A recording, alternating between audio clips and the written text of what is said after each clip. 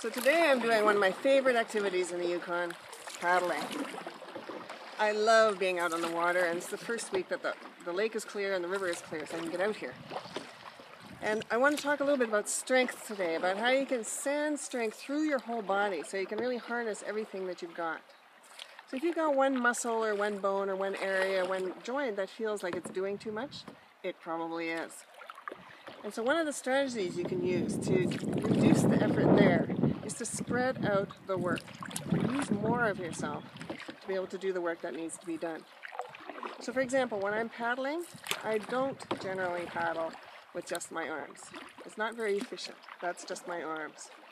I'll usually use my arms and my back because my back is full of big muscles. And so I can reach with my arms and I can spiral with my torso and I can get a lot more power on each stroke that way. And so I'm spreading out the work. I'm also doing something that's called the proportional distribution of effort. So we've got bones that go from smaller to bigger to bigger to biggest. And what the idea is, is that when you have bigger jobs to do, you want to send the work down to the bigger bones and muscles as we turn in circles here in Miles Canyon. Beautiful place. So I'm going to send the work through from my arms into my back, which is bigger, and down to the sitting bones.